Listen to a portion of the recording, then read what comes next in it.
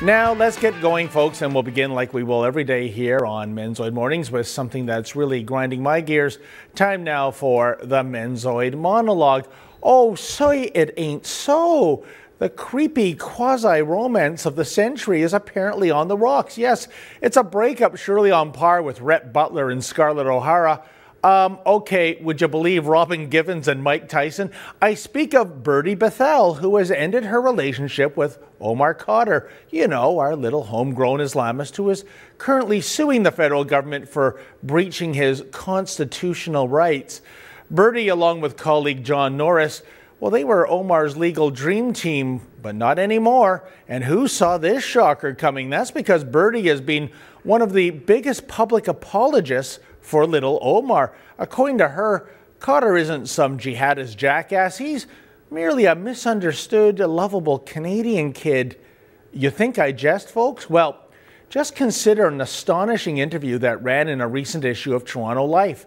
Indeed, in the Q&A, Brydie almost comes across as a caricature, an upwardly mobile, progressive, bleach blonde litigator who has never met a crook she didn't think was innocent, Uh, as long as the client had cash up front for the retainer, that is. In fact, I think we might have a clip of Brydie in action.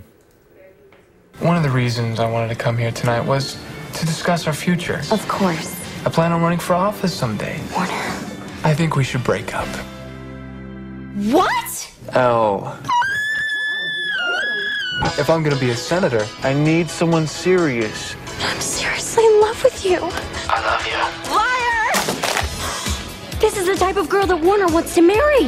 A law student. Going to Harvard is the only way I'm gonna get the love of my life back. For my admissions essay, Action. I'm gonna tell all of you why I'm gonna make an amazing lawyer. I feel comfortable using legal jargon in everyday life. I object.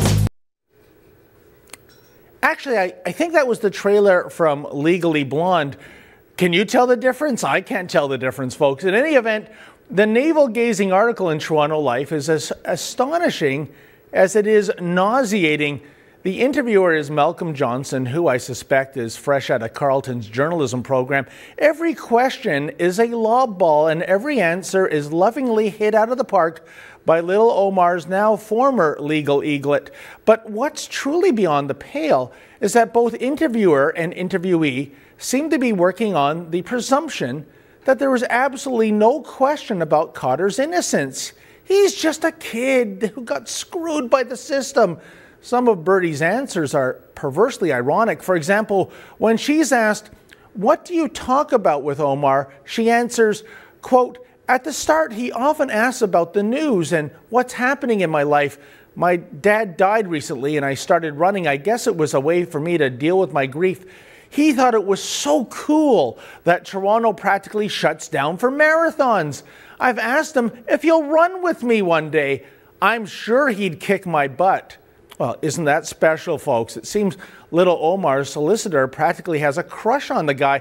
And when Brydie says, I'm sure he'd kick my butt, she doesn't know the half of it. I mean, it's been documented that during his time in Gitmo Bay, Khadr was disgustingly sexist and racist towards those prison guards who were visible minority females. Luckily, Omar was kept behind bars like the animal he is. Then there really would be a butt kicking otherwise. Still, my heart goes out to Brydie regarding the passing of her father, but wouldn't the obvious follow up question be how do you feel about the fact that Christopher Speer's children are growing up without their father thanks to Omar Khadr? Oh, but no dice, folks. Instead, Johnson's next question is what are Omar's hopes beyond getting out? And the answer, by the way, is quote, he wants to be normal, pay his bills, go shopping. He wants to go to school and eventually study medicine. He wants a book bag because that's what he associates with school. Isn't that sweet? It gets better, folks. Next question. Omar's 26. In some ways, is he still a child? And her answer, well, I think all males are immature, but Omar is very wise, and I keep marveling at his gentle spirit. He also has a remarkable emotional maturity. When he's scared or sad, he copes by reading or doing his homework. Omar has been reading one book from every province. For Ontario, he read In the Skin of a Lion. He liked Who Has Seen the Wind by W.O. Mitchell. I'm from Saskatchewan, so he asked if I spent a lot of time in fields as a little girl. Folks, I swear, I'm not making any of this up. Then we get into Shoot the Messenger Department. Question The Sun TV pundit Ezra Levant believes Khadr has duped you into thinking he's harmless. Is that possible? And Brydie's answer Dupe me? Well, Levant should meet my mother. She'll tell him I'm not easily duped. And for Levant to draw wild conclusions, having never met Omar, is ridiculous. This is my job. I'm a criminal defense lawyer. I deal with accused murderers and drug dealers all the time. Uh, sorry, Brydie, most people have never met Osama bin Laden either, but it's fair to assume, based on the evidence, he was a pretty insidious individual, too.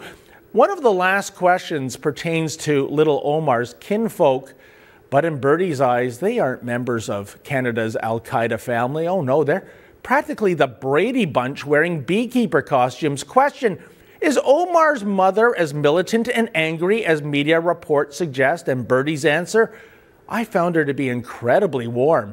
I'm Ukrainian, so I'm used to family members who are very tactile, in your face. Lots of, why aren't you eating? You're not fat enough. Lots of touching, even my flab. I found her strangely familiar in that way. Boo! Sorry, Brydie. You can put a liter of lipstick on a pig. It's still a pig. Bottom line, after finishing the Q&A article, I found myself confused. Who do I have the most contempt for? Omar Khadr, his lawyer, the pseudo-journalist who conducted the interview for Toronto Life, or Toronto Life for publishing such borderline pornography? I still don't have an answer, but one wonders who Omar's next legal mouthpiece will be, given that things seem to be going along so swimmingly well with Brydie and Omar. But then again, that's amore, and that's the Menzoid monologue.